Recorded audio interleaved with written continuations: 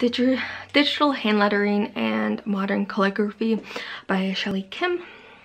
Um, essential tips plus step-by-step -step tutorials for scanning, editing, and creating on a tablet. Um, so you do have to do the physical, like with a pen or whatever, like brush pen or whatever, and then scanning it in and working from there.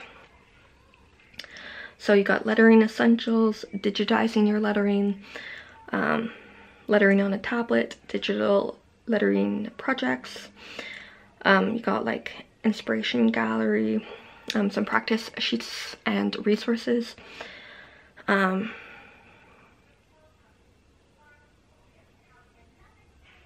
and under um, the four chapters you get what's told in them. So like um, tools like brush pens, paper, etc. Um, uh, like helps with like the basics to do lettering slash calligraphy. You do get like a few images on how to like the downstroke or whatever. Um, so like creating a digital file, so like taking a photo and writing into the file.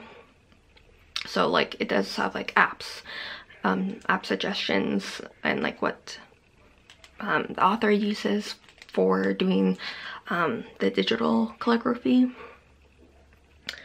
Um, so like the um, author uses like an iPad Pro and an Apple Pencil. Like she does make reference if you use like um, a different type of tablet and software. She does um, reference that. Um, testing um, out before purchase, like testing and stuff out before purchasing. Um, like so, like if something has like a trial or something, use that. Um, there's some step-by-step -step projects, so there is some help. Um,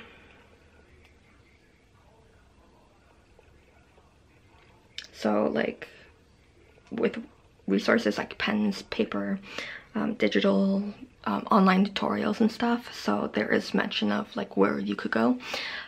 Um, so like if you want to mix the physical hand hand lettering calligraphy into your digital space um, I think this is a great resource for you to have a look at. Um, so there are like images showing like the different projects and um, some things are shown step by step so there is that helpful creating it physically and digitally and transferring it over. So yeah, it's a great start to have if you want to have that mix of the two. So digital hand lettering and modern calligraphy. Happy readings.